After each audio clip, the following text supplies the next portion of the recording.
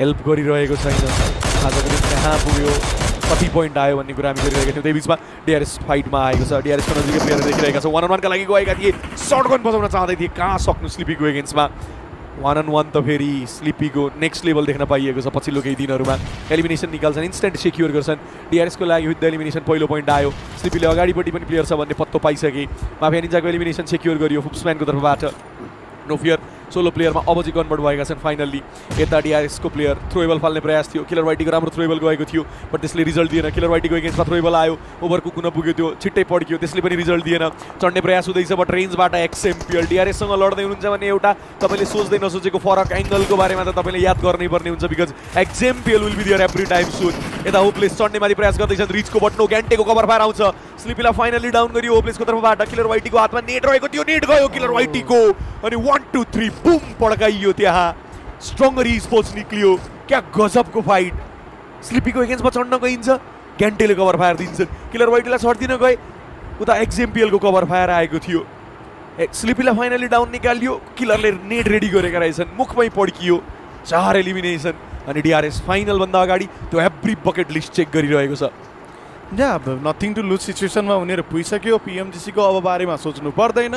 जित माथिपट्टि भएको चढ्ने प्रयास पक्का पनि रहनेछ। रेन्जबाट सर्ट आउँदैछ डिआरएसको एक्जेम्पिएलले देख्दो रहेछन् इभो स्टेसन गोज डाउन एक्जेम्पिएलले नक निकालेको थिए उता डिएमआरको एगेन्स्टमा क्यान्टेलले नक निकाल्छन्। इन्स्ट्यान्ट फिनिस गर्छन्। नक भएका प्लेयरको एलिमिनेसन सिक्योर गर्नको लागि जाँदै थिए अनि मेजर प्राइड त निक्लियो नै। स्लिपीले पनि केही एलिमिनेसन बटुले। सात एलिमिनेसन आएको छ। स्लिपी उता ठङ ठङ पार्दैछन् बोल्ट एक्सन कनेक्सन खासै बनेको छैन। यता डिएमआरले आइएचसीलाई चिप्न खोज्दैछ। डिआरएस आफ्नो म्याच बनाउने प्रयास पक्का पनि गर्नेछ। एज आइएचसी तर्फ डिएमआर ढल्किन खोज्दैछ। रेन्जको ब्याटल त्यो रहेको थियो।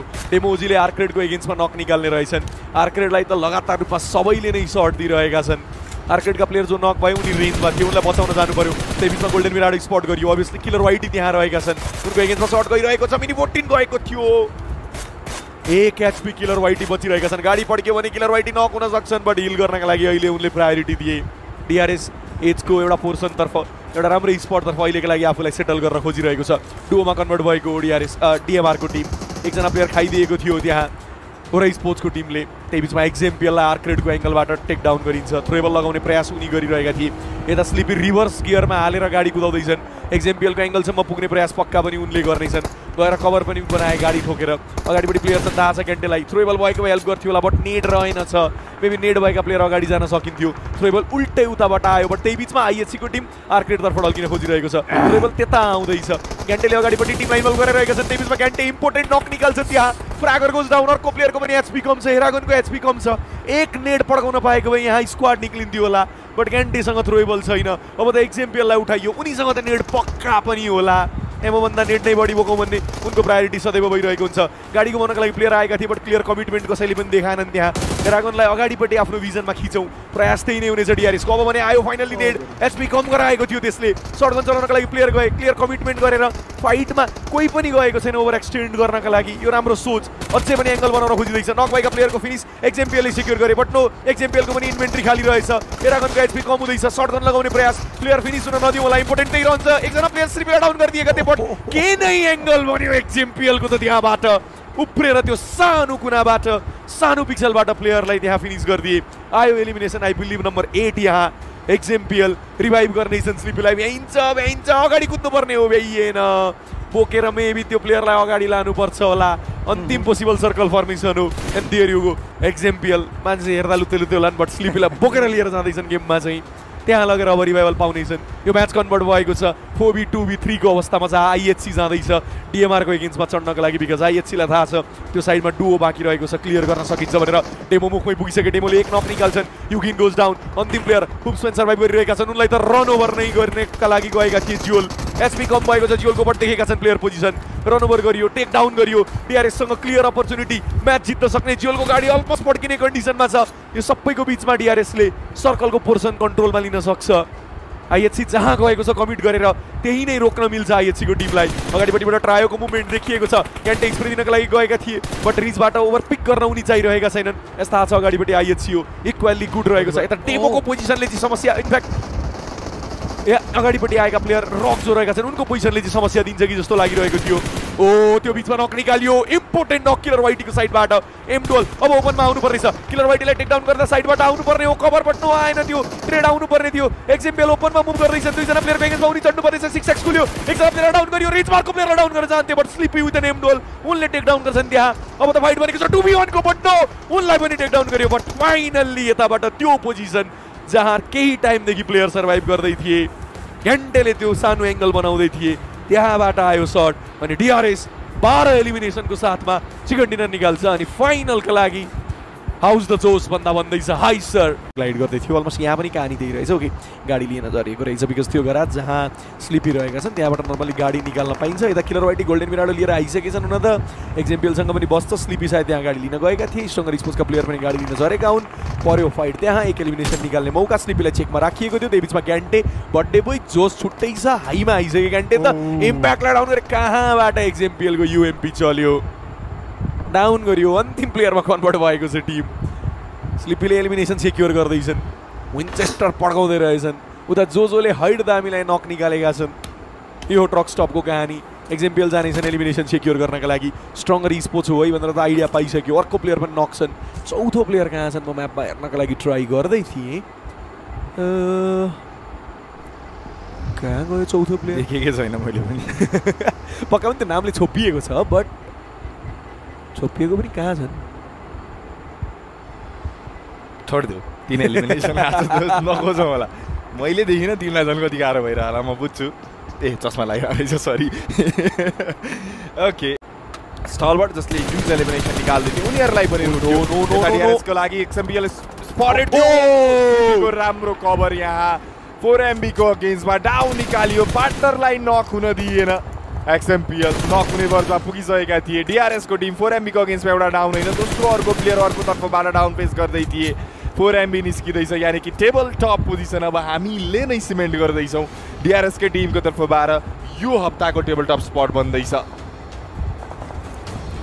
पाँच एलिमिनेसन स्लिपीले निकालेका छन्। वान मोर टाइम स्लिपी फेरि पनि फ्र्यागिङ त्यो क्यापासिटी देखाउँदैछन् अनि कस्तो पर्फेक्ट टाइममा आइपुग्दा स्लिपीको गन चल्न थालेको छ। फाइनलको जस्ट अगाडिपट्टि फाइनल सुरु हुनका लागि केही दिन बाँकी रहँदा स्लिपी आफ्नो टप नच फर्म देखाउँदैछन् फोर एमबी यत्रो बेर सर्भाइभ गर्यो एलिमिनेसन केही हदसम्म आएको बट यहाँ एक एक गर्दा निस्तनाबुद गरिँदैछ फोर एमबीलाई अन्तिम प्लेयरमा कन्भर्ट भयो। पाँच एलिमिनेसन निकालेको छ टिमले रेफुसको पोजिसनको बारेमा पत्ता छ। उता एक्जेम्पियलले मेजर प्राइडका अन्तिम प्लेयरलाई टेक डाउन गरिदिन्छन्। त्यही बिचमा रेफुस सरप्राइज़ गरे प्लेयरलाई इन्स्ट्यान्ट नक अनि फिनिस एओआरको पनि नम्बर क्याजुअलिटी भइरहेछ त्यहाँ। एकजना प्लेयर त उनीहरूले पनि लुज गर्यो। टिआरएस अर्को म्याचको चिकन डिनरको लागि पक्का पनि ट्राई गर्नेछ। फोर बी थ्री बी वानको सिचुएसन यहाँ बन्यो किलर वाइटीको मुभमेन्टलाई देखेका थिए वेस्ट्रोनले स्प्रे दिनका लागि गए बट रेन्जको स्प्रे रहेको थियो। कनेक्सनमा आएन वेस्ट्रोनको टिमका लागि फिटिन डाउन भएका छन्। कहाँ मिल्टाबाट सुरु भएको लडाइँ? कहाँ मिरामारको फाइनल सर्कल ब्याटलमा कन्भर्ट हुँदैछ त्यो पनि लिग फेजको अन्तिम म्याचमा आइपुग्दा।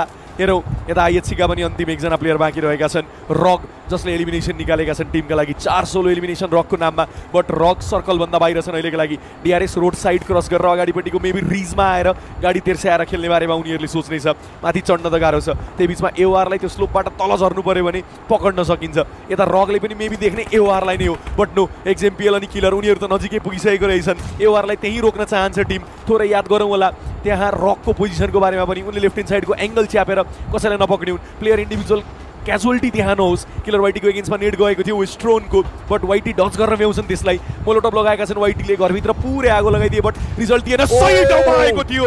एक्जेम्पियल पिएमजिसी ट्वेन्टी ट्वेन्टी टूका ग्रिनेडियर पो हुन् त यहाँ नक निकाल्छन् डिआरएसको टिम अर्को एउटा चिकन डिनरको लागि गइरहेको छ अर्को नेट गएको थियो त्यहाँ त्यो नेटले एलिमिनेसन सिक्योर गर्दैछ त्यहाँ अर्को नेट फाचेको एगेन्स्टमा पनि गयो फाचेको एचपी कम भएको छ। एक साइडबाट क्लोज इन गर्नका लागि गइरहेका छन् अनि सबैको बिचमा उता आइएचसीका अन्तिम प्लेयर भने एउटा एङ्गल बनाएर बसेका रहेछन्। सरप्राइज़ नगरून् कसैलाई पनि। मुभमेन्ट देखिराख्नु भएको छ ब्याक लाइनमा त्यही बिचमा एवारका प्लेयरको मुभमेन्ट देखे आइएचसीका रकले ग्यान्टेलाई टेक डाउन गरेका छन्। यही कुरा म गरिरहेको थिएँ। डिआरएसको टिम अब थोरै त्यहाँ रकको एङ्गलतर्फ पनि याद गर्नुपर्ने भयो उनीहरूलाई।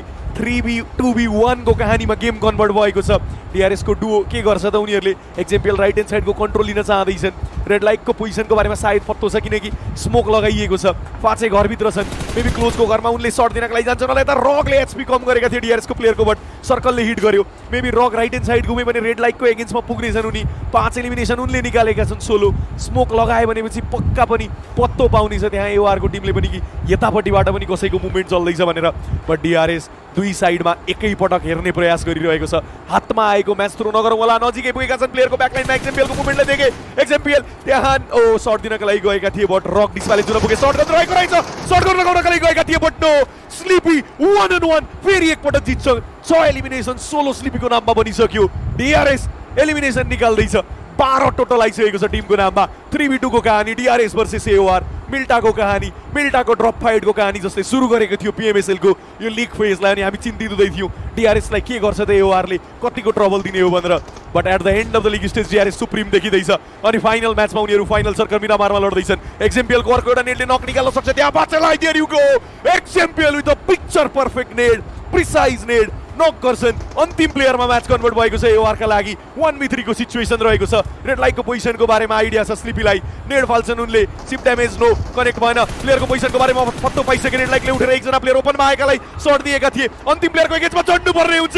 You killer white with range elimination टाढाबाट सर्ट दिए टेक डाउन गरे। And DRS the ghost of the mountain ending the league stage in style अर्को एउटा म्याच अर्को एउटा चिकन डिनर चौध एलिमिनेसन चौबिस पोइन्टर वाइटी खुसिजन घन्टेको बर्थडे गिफ्ट गजबको रह्यो ब्लू हार्ट त पक्का पनि चाटमा उडि नै रहेको होला उडिरहेको होला कहाँ पुगिसक्यो होला? सोच न चन्द्रमा चन्द्रमा पुगिसक्यो होला यहाँ पक्कै पनि जुन स्प्याम आउँदै थियो पछाडिको म त एकछिन कास्टिङ डेस्क छोडेर पछाडितिर जाउँ कि जस्तो पनि लाग्दै थियो जुन चियर अप गरिँदै थियो पछाडिपट्टि। गजबको म्याच खेल्यो ब्याक टु ब्याक टिमको तर्फको लागि गेम One.